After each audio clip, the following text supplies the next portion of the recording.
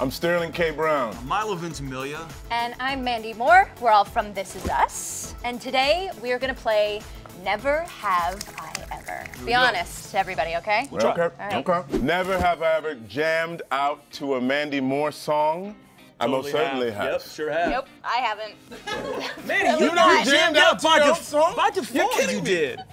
Not like just pu- putting it on and like jamming. You never singing just put on your own songs and like, God, I'm killing this. But wait a minute, like, you, but it never like came on on the radio and you're like, oh yeah. No, Yeah. I no.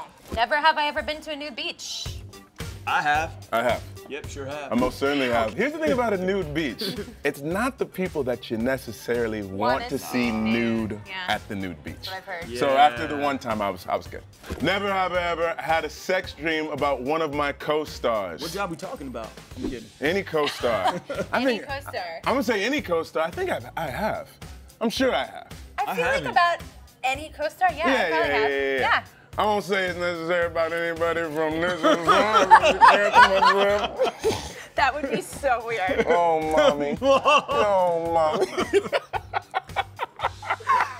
Never have I ever used my celebrity to get out of a ticket. No. No, I don't even know if it works for black people. I haven't had a ticket since I've been a celebrity. so I'll let you know next time, Mr. Officer. No.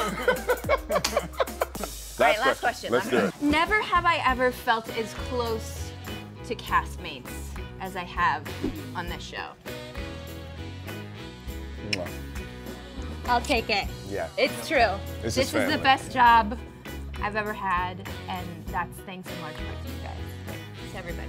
It's true. It's true. Yeah, that's it.